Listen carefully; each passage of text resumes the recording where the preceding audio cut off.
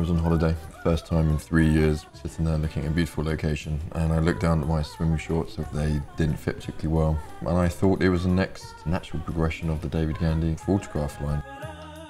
A few inspirational shots with Paul Newman, Robert Redford playing table tennis in these great pairs of shorts. And then I took inspirations from tailoring, which is the side adjusters, the change pocket and the two pockets at the back. So we wanted to make a very versatile short and we all created all of that for £25.